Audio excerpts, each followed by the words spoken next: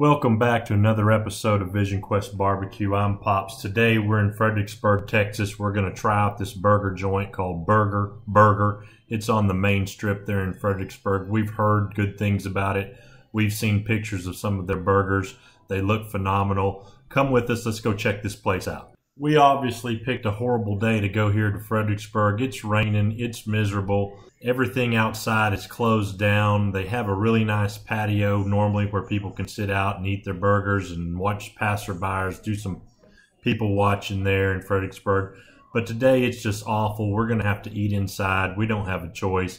Here we go. Let's go in, check this place out. We're at Burger Burger, which we've heard is fantastic burgers. Called the Dirty Bee Burger. Uh, it comes with uh, the meat, it comes with Texas chili on it, it comes with the jalapenos, queso, guacamole. Hopefully it's going to be really good. We're going to give it a shot. I'll let you know how it is. It's a horrible day to be out in Fredericksburg, Texas today. It's raining.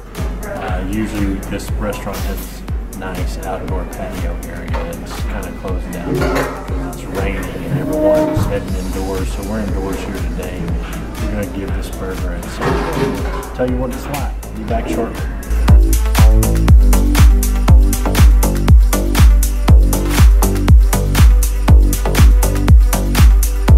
These things come out here.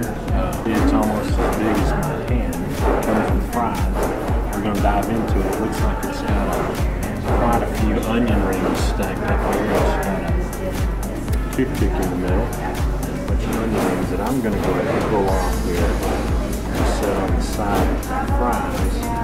The, uh, the, menu actually said it came with onion strings. Now, these are some onion rings. I'm going to give it a bite here and see what I think. It should be kind of messy. Boy, it's hard to pick up. It's a mess, all right.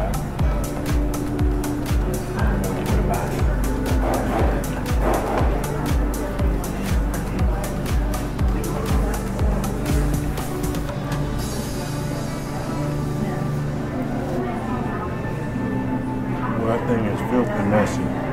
But I can tell you this. By standards of chili cheeseburger, it's pretty delicious.